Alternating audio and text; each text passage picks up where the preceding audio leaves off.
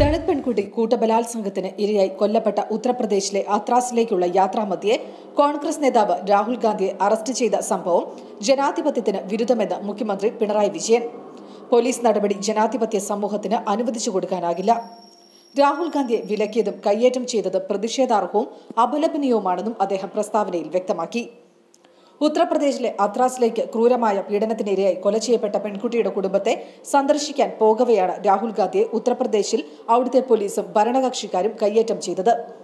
രാഹുൽ ഗാന്ധിക്ക് അത്രാസിലേക്ക് പോകാൻ എല്ലാ ജനാധിപത്യ അവകാശങ്ങളുമുണ്ട്.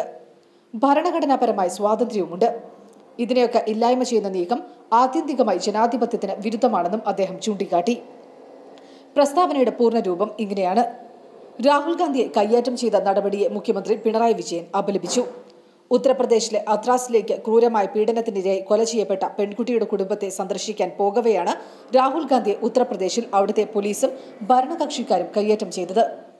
രാഹുൽ ഗാന്ധിക്ക് അത്രാസിലേക്ക് പോകാൻ എല്ലാ ജനാധിപത്യ അവകാശങ്ങളുമുണ്ട്. ഭരണഘടനാപരമായ സ്വാതന്ത്ര്യവുമുണ്ട്. അതിനെയൊക്കെ ഇല്ലായ്മ ചെയ്യുന്ന നീക്കം ആത്യന്തികമായി ജനാധിപത്യത്തിന് വിരുദ്ധമാണ്. ഇത് ജനാധിപത്യ സമൂഹത്തിന് അനുവദിച്ചു കൊടുക്കാൻ സാധിക്കില്ല. പ്രതിഷേധാർഹവും അപലപനീയവുമാണ് രാഹുൽ ഗാന്ധിയെ വിലക്കിയതും കയ്യേറ്റം ചെയ്തതും.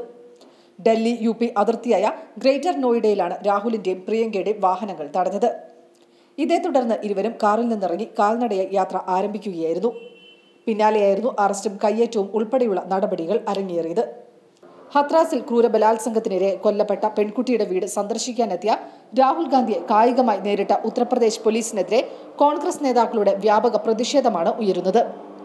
ഉത്തർപ്രദേശ് പോലീസ് രാഹുൽ ഗാന്ധിയെ നിലത്തേക്ക് തള്ളിയിട്ടിരുന്നു. പോലീസ് ലാത്തി കൊണ്ട് മർദ്ദിച്ചതായും രാഹുൽ ഗാന്ധി ആരോപിച്ചു.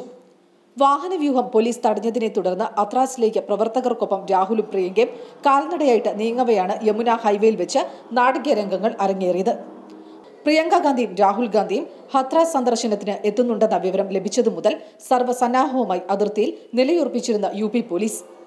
ഹത്രാസിൽ രാവിലെ മുതൽ തന്നെ ബാരിക്കേഡുകൾ വെച്ച് റോഡുകൾ അടച്ചിട്ടിരുന്നു. മാധ്യമപ്രവർത്തകർക്കടക്കം പ്രവേശനം അനുവദിച്ചിരുന്നില്ല. ഡൽഹി ഉത്തർപ്രദേശ് അതിർത്തിയിൽ വെച്ചാണ് കോൺഗ്രസ് നേതാക്കളെ ആദ്യം തടയാൻ ശ്രമിച്ചത്. പ്രവർത്തകർ പ്രതിഷേധിച്ചതോടെ അവിടെ നിന്ന് വാഹനവ്യൂഹം കടത്തിവിട്ടു. പിന്നീട് ഗ്രേറ്റർ നോയിഡയിൽ വെച്ചാണ് തടഞ്ഞത്. എന്നാൽ വാഹനങ്ങൾ അവിടെ പാർക്ക് ചെയ്ത ശേഷം രാഹുൽ ഗാന്ധിയും പ്രിയങ്കയും പ്രവർത്തകർക്കൊപ്പം കാൽനടയായി ഹത്രാസിലേക്ക് നീങ്ങി. യമുന ഹൈവേയിലൂടെയായിരുന്നു യാത്ര. ഇതിനിടെ വീണ്ടും യു പോലീസ് എത്തി തടഞ്ഞു. പോലീസുകാരെ വകഞ്ഞുമാറ്റി രാഹുൽ ഗാന്ധി വീണ്ടും മുന്നോട്ട് നീങ്ങി. ഉന്തും തള്ളുമായി. രാഹുലിനെ പോലീസ് കായികമായി തന്നെ നേരിട്ടു. അദ്ദേഹത്തെ തള്ളി വീഴ്ത്തി മുന്നോട്ടേക്ക് നീങ്ങാൻ അനുവദിച്ചില്ല. പ്രവർത്തകരെ ലാത്തിചാർജ് ചെയ്യുകയുമുണ്ടായി. ഒരു ഭാഗത്ത് പോലീസ് ലാത്തിചാർജ് നടത്തുമ്പോഴും രാഹുൽ ഗാന്ധി പ്രിയങ്കയും മുന്നോട്ട് പോയിക്കൊണ്ടിരുന്നു.